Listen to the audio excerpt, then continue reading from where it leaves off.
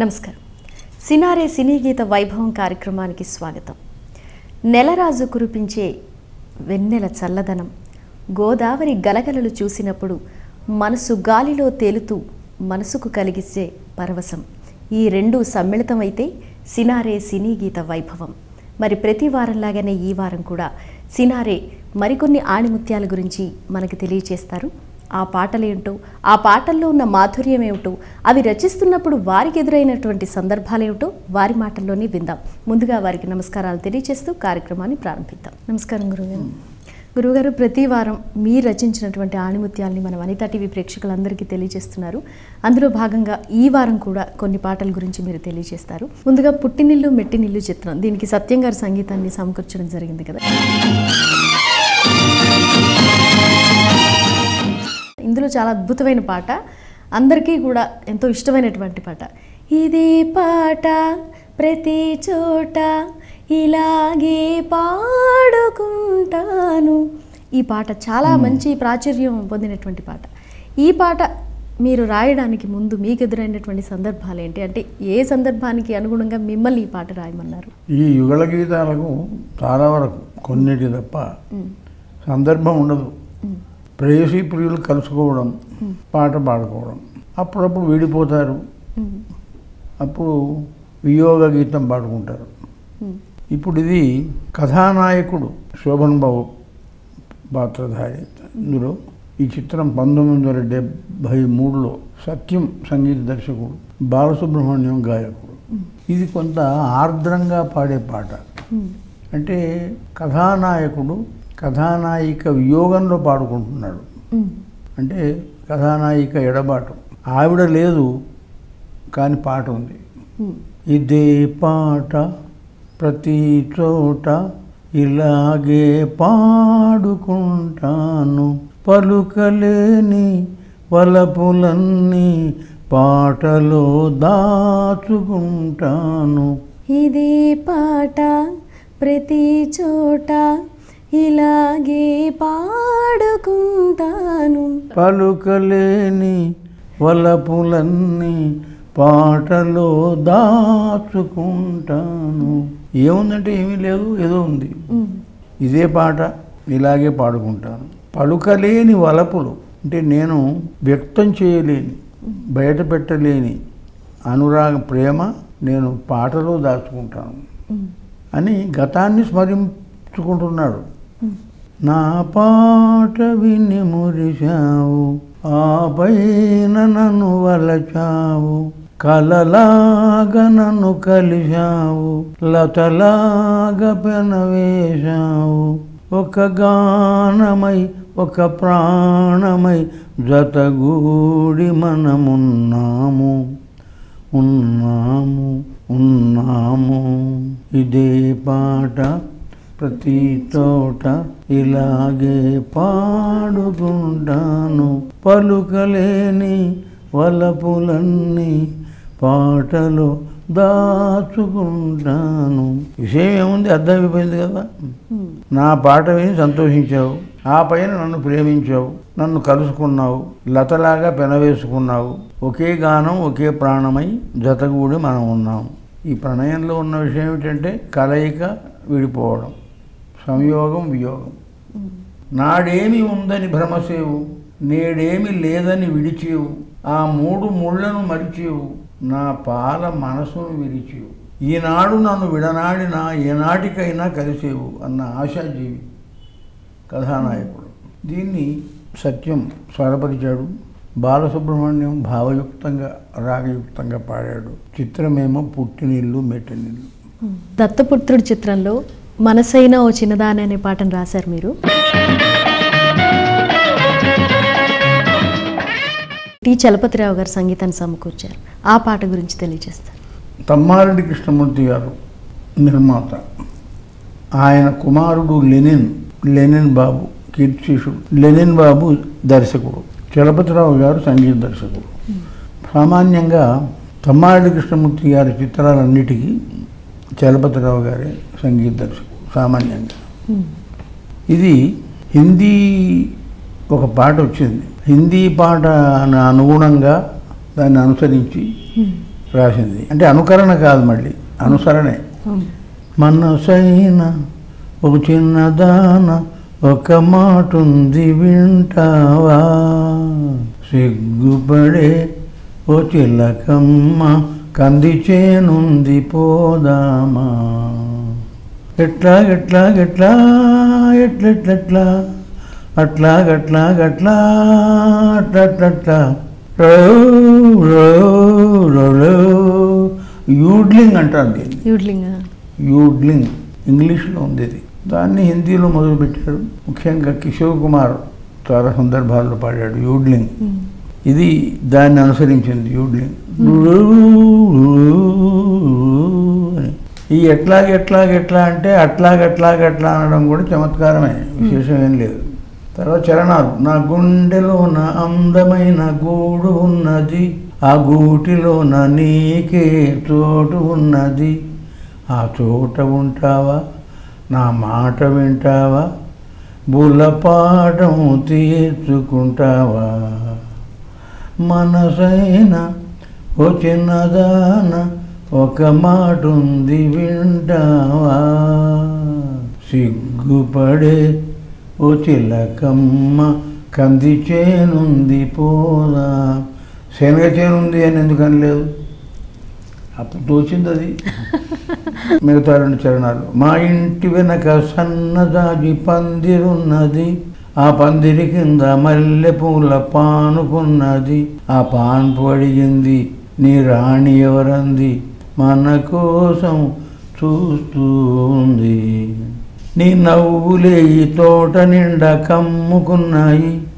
నీ పొంగులే నా గుండెలో ఉప్పొంగుతున్నాయి. కొంచెం చూడనిస్తావా? పోని తాకనిస్తావా? నన్ను నీలో చేర్చుకుంటావా? ఇది కూడా చమత్కార ప్రణయ గీతమే. చలపతిరావు గారి సంగీత దర్శకత్వంలో కొంత తమాషాలు చేశాడు ఇందులో. ఇది బాగా ప్రాచుర్యం వహించిన గీతమే. గురుగారు తర్వాత చెల్లెలు కాపురం చిత్రానికి కేవి మహాదేవన్ గారు సంగీతాన్ని సమకూర్చారు. దాంట్లో చాలా అద్భుతమైన అంటే నాట్య ప్రధానమైన ఒక పాట మీరు రాయడం జరిగింది.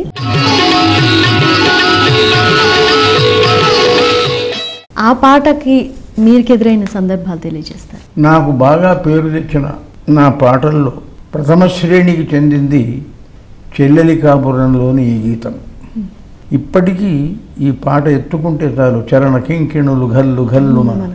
సభాసదులు కరతాళ ధ్వనులు చేస్తారు. ఇది చిత్రీకరణ శోభన్ బాబు మీద. వాణిశ్రీ శోభన్ బాబు ఏమో పాడుతాడు. వాణిశ్రీ మీద చిత్రీకరణ జరుగుతుంది ఇక్కడ ఆడవే మయూరి అని ఉంది. మయూరి స్త్రీలింగం. ఆడ నెమలి ఆడదు అనే ఒక అభిప్రాయం ఉంది. కానీ చాలామంది మయూరి మయూరి వై వయారి వై నటనమాడరావే మహాకవి శ్రీశ్రీ కూడా మయూరి అన్నాడు. శోభన్ బాబు నల్ నల్- నల్లనివాడు. అంటే గళ సౌందర్యమే తప్ప శరీర సౌందర్యం లేదు. అప్పుడు ఎత్తుకుంటాడు. చరణ కింకిణులు గల్లు గల్లు మన. కర కంకణములు గలగలలాడగా. వినీల కచభర విలాస బంధుర తను లతిక చెంచెలించిపోగా ఆడవే మయూరి. ఇది చిత్రీకరణ జరిగేటప్పుడు నేను సెట్లో ఉన్నాను. నన్ను గురూజీ అనేవాడు ఎప్పుడు. ఆ ధోతి కట్టడం కూడా నన్ను అనుసరించాడు అది. ఇప్పుడు చూస్తే తెలుస్తుంది మీకు. ఎలా చేస్తే బాగుంటుంది అంటే ఏం లేదు కవి పాడినట్టు ఉండాలి ఇది. చరణ కింకిణులు గల్లు గల్లు మన కర కంకణములు గల గల రాడగా వినీల కచభర విలాస బంధుర చను లతిక చెంచెలి అని సూచనగా చెప్పాను. దాన్ని అద్భుతంగా అనుసరించాడు. కీర్తిశేషుడు శోభన్ బాబు. ఇక్కడ ఏమిటంటే అంగాంగ వర్ణన అంటారు దీన్ని. మొదట కాళ్ళతో ప్రారంభించాడు చరణ కింకిణులు గల్లు గల్లు మన కాలి గజ్జలు కరకంకణములు గలగలలాడగా. అంటే ఇక్కడ సమాసాలు వీటితో కూడిన శైలి ఇందులో తీసుకున్నాం. కరకంకణములు చరణ కింకిణులు వినీల కచభర విలాస బంధుర తనూలతిక చెంచరించిపోగా వినీల కచభరం కచభరం అంటే సిగ బరువైన సిగ అంటే పెద్ద సిగ. బరువైన అంటే పెద్ద సిగతో విలాసం కలిగిన తనూలతిక శరీరం చెంచలించిపోగా ఆడవి.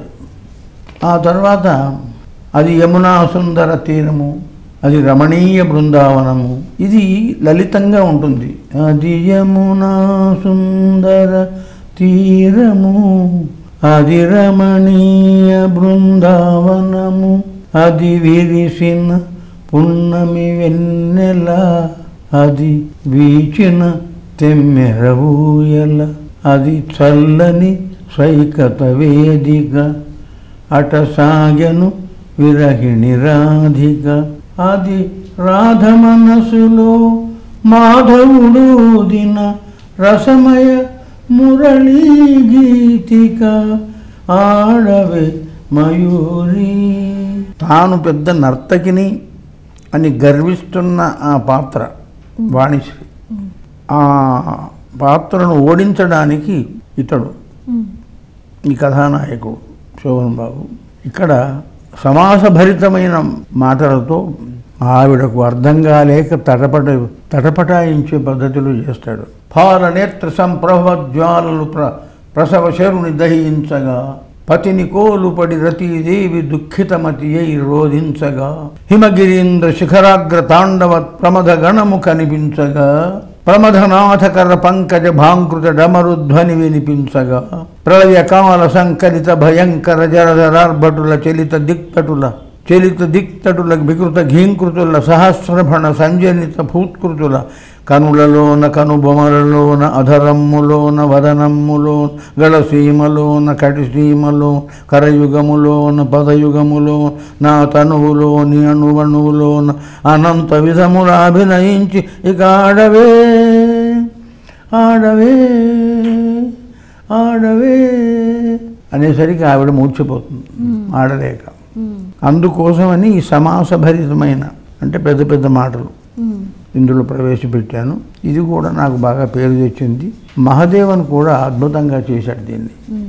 మహాదేవన్ యొక్క గొప్పతనం ఏమిటంటే ఆయన మహాదేవన్ మాతృభాష మలయాళం. కానీ తమిళనాడులో స్థిరపడ్డాడు. తెలుగు వచ్చేది కాదు. పుహళేంది అని అతనికి అసిస్టెంట్ అతను తెలుగువాడు కాదు కానీ తెలుగు వచ్చు అని అనేవాడు. అంటే అతను చెప్పేవాడు చరణ కింకిణులు గల్లు గల్లు మన. ఒక్క ఐదు నిమిషాలు. చరణ కింకిణులు గల్లు గల్లు మన. కర కంకణములు గలగలలాడగా. వినీల కచభర విలాస బంధుర తను లతిక చెంచలించిపోగా ఆడవే మయూరి. దీన్ని బాలసుబ్రహ్మణ్యం అద్భుతంగా పాడాడు. ఈ రకంగా ఈ పాట కూడా చిత్రానికి బాగా ఉపకరించింది. బాలసుబ్రహ్మణ్యం గాయకునికి తర్వాత సంగీత దర్శకుడు మహాదేవానికి గీత రచయిత నాకు అంటే గురుగారు ఈ పాట మీరు రాస్తున్నప్పుడు ముందుగానే అంటే ఈ- రకమైనటువంటి పదజాలంతో మాకు ఉండాలి పాట అనేది చెప్పారంటారు మీకు డైరెక్టర్ గాని ఎవరైనా? కొన్ని సందర్భాల్లో చెప్తారు కొన్ని చోట్ల చెప్పలేరు. దీనికి డైరెక్టర్ విశ్వనాథ్. విశ్వనాథ్ ఇంకా అంత పరిణతి పొందలేదు అప్పటికి. కాబట్టి ఇంటూ కూర్చున్నాడు ఎక్కడ తనకు అవసరం ఉందో అది చెప్పేవాడు. అంటే సందర్భాన్ని ఊహించి మీరే అలా రాయడం జరిగింది పాట. లేదు సందర్భం చెప్పేవారు. కానీ ఇదంతా ఈ రచనా విధానం అంతా నాది. ఆ తర్వాతే బాణీ చేశారు మహాదేవన్ గారు. మహాదేవన్ విశేషం ఏమిటంటే ఆయన ఎప్పుడు తాను బాణి ఇచ్చేవాడు కాదు ట్యూన్. ఇచ్చిన దానికే. మాతృభాష తెలుగు రా కానివాడు. మనం ఇచ్చిన పాటకు ట్యూన్ చేసేవాడు. అది గొప్ప విశేషం. గురుగారు ఈ వారం మన కార్యక్రమంలో చక్కటి పాటల గురించి తెలియజేశారు. మన ప్రేక్షకులందరి తరఫున ధన్యవాదాలు గురుగారు. చూశారు కదండి. ఈ వారం సినారే సినీ గీత వైభవం కార్యక్రమంలో డాక్టర్ సి నారాయణ రెడ్డి గారు తెలియజేసినటువంటి పాటల గురించి తెలుసుకున్నారు కదా. అలాగే మళ్ళీ వచ్చే వారం ఇదే కార్యక్రమంలో మరికొన్ని ఆణిముత్యాల్ని వారి మాటల్లోనే విందాం. అంతవరకు సెలవు మరి నమస్కారం.